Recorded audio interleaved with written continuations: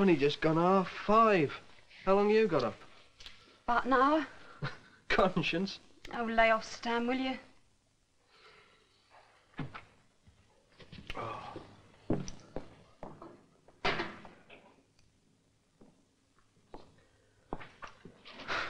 Everybody gets a cup of tea in bed now. I have to get up early. That's nice. You're included. Thanks.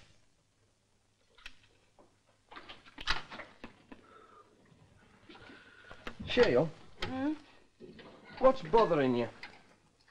No job. That all? Well, isn't it enough? It'd be more than enough for most people. Yeah. What Dad said yesterday about you walking out on Seeger because he made a pass at you. That wasn't how it happened, was it? You've got a pretty low opinion of me, haven't you? You went to live with him. What do you expect me to think? We shared a flat above the shop. That's not the same thing. On, Sheila. I'm not sitting in judgment. I'm just saying that Dad's got the wrong end of the stick while you left. You're not sitting in judgment because you've already made one, thinking what you think. All right. Then I'm not modelising. Mm, Stan Harvey, the big-hearted liberal. Watch it, Sheila. Look, Stan, I may be a bitch, but I'm a choosy bitch. I wouldn't touch Jake Seeger with one of those barge poles out there. You went with him. Do you like the firm that you work for? Well, what's that got to do with it? You went with them.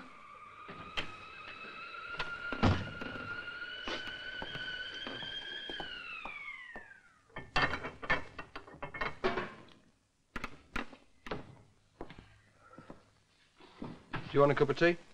Mm. So, uh, so what you going to do? Ask Vera for my old job back. well, Stan, we all have to eat humble pie, each according to his taste. And the name? Thank you. Uh, will you uh, write confirming that, please? Thank you very much. Bye. Hello, how's Rome? Hello. Great. How are things with you? Coping. Any sign of the mail yet? Give it a chance. It's only just nine o'clock. Oh, yeah. Well, I must get going. I've got Mrs. Richardson due in a minute. Everything all right, Vera? Yes, of course. Why shouldn't it be? Oh, you seem a bit uh, preoccupied. Well, as a matter of fact, Mr.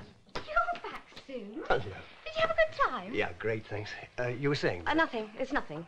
See you in a minute, Jill. Well, you certainly look better for it. hmm The holiday. Uh, yeah, maybe, but I don't feel better.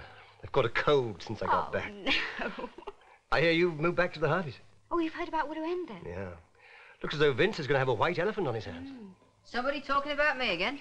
You must be joking. Hey, by the way, I took a salon cancellation for you earlier. Uh, Mrs. Phillips, I think. Oh, thanks. Well, I hope you're both going to be around for my big surprise today. What's this? Wouldn't be a surprise if I told you, would it? I shall be in the dining room if anybody wants me. What's he talking about? Search me, but he's been grinning from ear to ear ever since I got back. Have you uh, met this new waitress, Jane Smith? Oh, the computer dating girl. I beg your pardon. Well, that's how he first met her, through the computer dating services. Really? I wonder if this surprise he's talking about has got something to do with that. Excuse me. Crossroads Motel. And then I met her husband. Well, after all the things she'd said about him, I was expecting something like Tarzan at the very least. Turned out to be a little man with glasses who looked like a mouse. Well, appearances can be deceptive. True. Well, you've done a marvellous job. Just finished, have you? Just this minute. Oh, it looks super. Mm, doesn't it? Thanks. Isn't it? Oh, Sheila asked me to tell you she wants to come and see you this morning. Is Sheila back again? Yeah, the night before last. Oh, nobody told me. Oh, sorry, Mum, I was in such a rush. Oh, it doesn't matter. It'd be nice to see her again. Vera, ask her to come in and say hello, would you? Yeah, sure. She didn't happen to mention what she wanted to see me about, did she? I'll get it.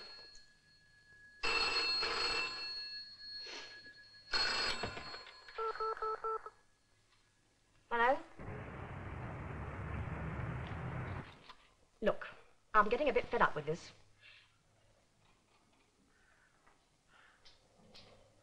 If you've got something you want to say, why don't you say it? Go away. Somebody's idea of a practical joke. Oh, I see. Only I don't find it very funny. Yeah, we gathered that. In fact, it's beginning to get me down. How long's it been going on? Some days. It's so stupid, really. They never say anything. Just wait there at the end of the line. Wait, what for? For me to lose my temper. I don't know. Oh, I suppose I'll get fed up with it sooner or later. Have you reported it to the police? No. I mean, what's the point? It's bound to stop eventually, isn't it? Oh, well, that's up to you, of course. Well, I must get on. See you later, Mum. Yes, love, bye. Are you all right, Vera? Oh, I'm fine, aren't I? Just scared out of my wits, that's all.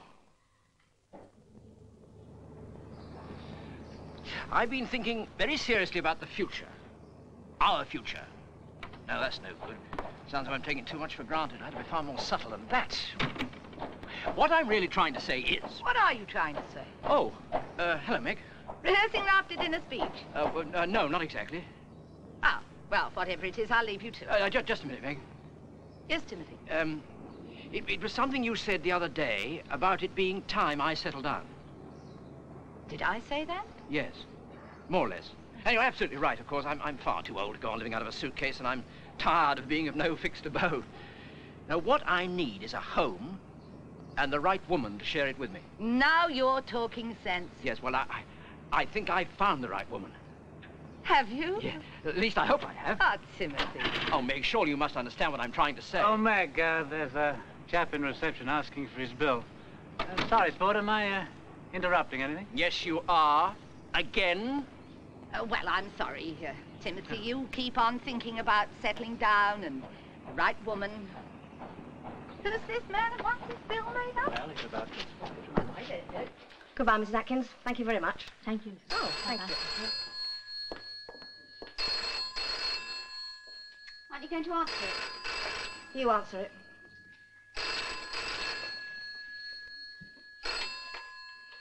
Hello, Salon here. Hello, Mrs. Parks. Where have you been? Been anywhere nice, have you? Oh, you are lucky being able to get away at this time of year. Yes, uh, you want to make an appointment? Yes. Uh, just a minute. Now, Wednesday, uh... Yes. Uh, 11.30 suit you? Okay, fine. Bye. Perfectly ordinary telephone booking. I really am going to pieces, aren't I? Come on, I'll do your hair now. Morning, Vera. Hello. Did Jill tell you that I wanted to see you? Yeah, she did mention it. Oh, well, um, I wanted a word. I'll go and get you both coffee, shall I? What? Oh, thanks.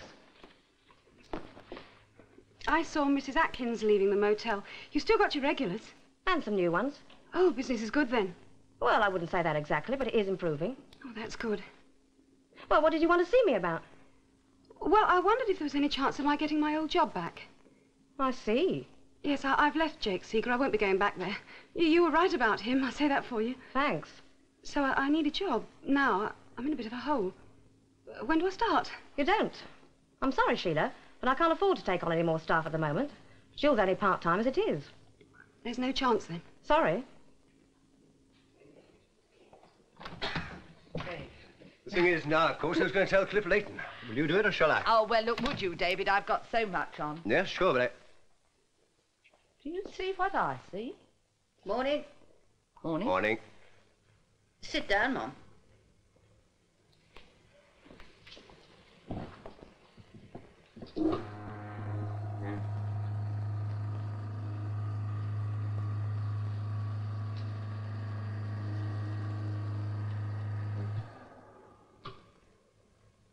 Now walk away. Isn't that fun? How does it work? Well, you know, Tom Cook, Dave, and I were working on an idea to try and make the wheelchair elevate. Yeah. Well, Tom saw that chair advertised, so uh, here we are. Well, I think it's fantastic. But we're still working on the hydraulic wheelchair. Watch this.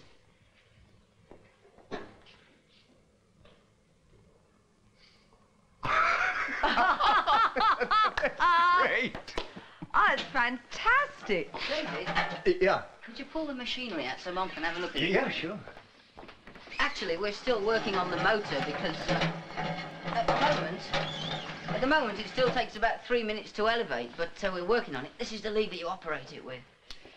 Great. Hey, can I have a go on that one? Yeah, yeah, sure. You Yeah, go on, get- it's marvellous. Suits you? It's a bit like being at the dentist. There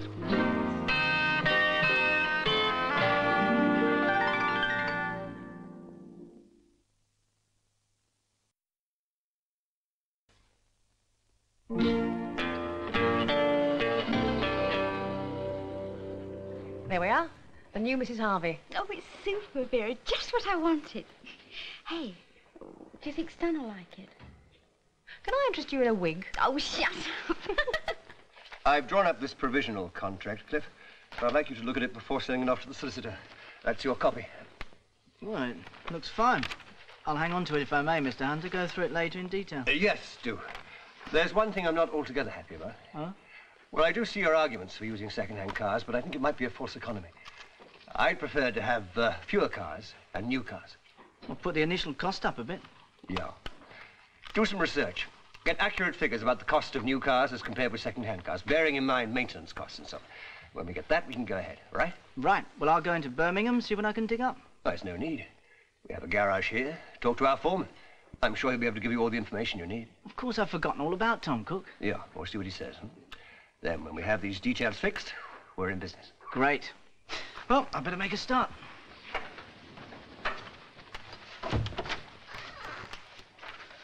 Oh, uh, Mr. Hunter, Yes? I know you're taking a bit of a chance doing this, and, well, I, I just want you to know I appreciate it. Nonsense. It's a very good idea. Lots of people wouldn't listen to an idea from an ex-con. Well, that is their loss. As far as I'm concerned, you're a businessman. And so am I. Yeah, well, all the same, you've given me a break, and, well, I... thanks. Uh, give those three to Sandy, would you? Mm-hmm, okay. Now, what about these cafeteria lists? Oh, yes.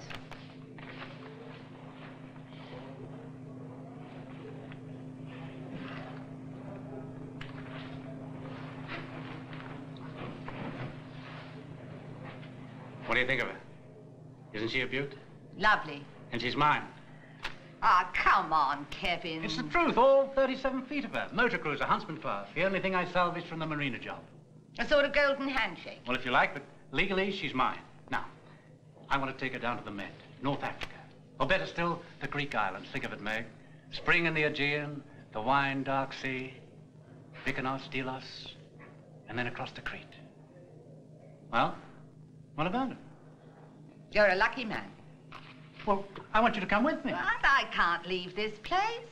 Oh, come on, it's no fun on my own, Meg. Let's have one wild, last, crazy fling before we settle down. Who's settling down?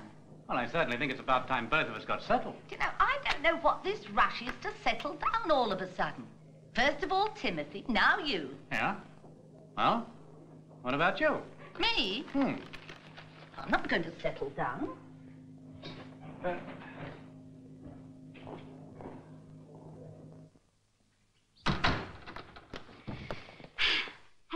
Hello. Hello. Where's Dad? He's gone down to the club for his pint of supper. What, were you going to say something? Look, my hair. Oh, the, oh, it's lovely. Oh, well, I suppose I'd better get on with our supper. Yeah, well, not for me. That why the table ain't laid? If you like. How did you get on with Vera? Nobody gets on with Vera. No job, eh? You know perfectly well. No. I haven't mentioned it. I thought there were no secrets between you. Don't be childish. No, teacher. Look, what did Vera say? Well, in a couple of words. Buzz off, or was it hop it? Anyway, I got the message. She gave me the elbow, all right? Is that all she said? She said I was a naughty girl for walking out on her and that she didn't owe me a living. And anyway, she could manage perfectly well with part-timers. You're not blaming it on to Jill, are you? Stan, I'm sorry you didn't get fixed up, Sheila. Don't worry about it. Look, that's enough. You've got nobody to blame on only yourself. Look, you'll get a job. Yes, why not? Even if it's only scrubbing floors. After all, I am a scrubber, aren't I, Stan?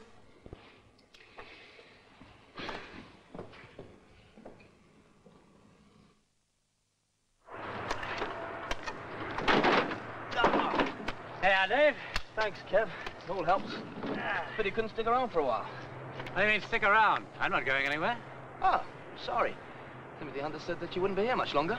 Oh, did he? Well, uh, don't take any notice of the old boy. He gets a bit uh, confused up here.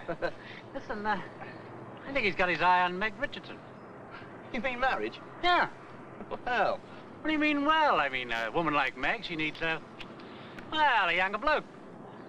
morning, Dave. Morning, Kevin. Morning, Mr. Hunter. Uh, We, uh, we're just talking about Meg. Oh, uh, wasting your time, old man. I'm wasting my time. What have you got to offer? Rather more than you, I fancy. For one thing, I...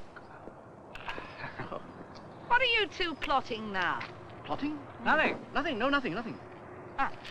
Uh, Dave, don't forget to give me that stock list before I go away. Okay, Mrs. Richardson. Go away. Going away? Mm-hmm. It's a conference of ateliers over at the Droitwich. I'm leaving on Friday. But I thought you said you were up to your eyes in work. Ah, yes, but David's back now, so he can cope with everything here. Well, uh, when are you coming back? Oh, I don't know. It's hard to say. I'll be away a week, certainly, perhaps two. Uh, you must both come over and dine with me one evening.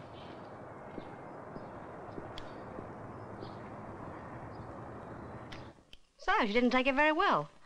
It's understandable. Still, that's no reason to take it out on you. Well, she wasn't really. I bet she didn't see it from my point of view. I mean, I don't run this salon to provide employment for her when she feels like it. It's supposed to be a profit-making concern. Those sound like admirable sentiments, Well, well, well. Good morning, Mr. Gilbert. isn't it? Very pleasant for the time of year. Are you free for a minute, Miss Downend? Yeah, I suppose I could be. Glad to hear it. Oh, Jill, get us a cup of coffee, would you? I suppose you'd better make it two. If you like. I can't imagine what you and I have got to say to one another. You know, I get the distinct impression that young lady doesn't like me. I wonder why that is. Well, you've never exactly gone out of your way to make yourself popular, have you? If I've made mistakes in the past, it's been me that's had to pay for them, hasn't it? Not always, no. Oh, yes. I've paid the price, and I've learned my lesson. You want a touch or something? Definitely not. I've very much landed on my feet, as you might say. You amaze me. My various enterprises seem to be getting better than ever lately. Well, what do you want? Just to put a little business your way, that's all. What sort of business? Wilf told me you gave him a very good haircut. I thought you might like to do the same for me, if you've time. Oh, is that all? Well, you better sit down then.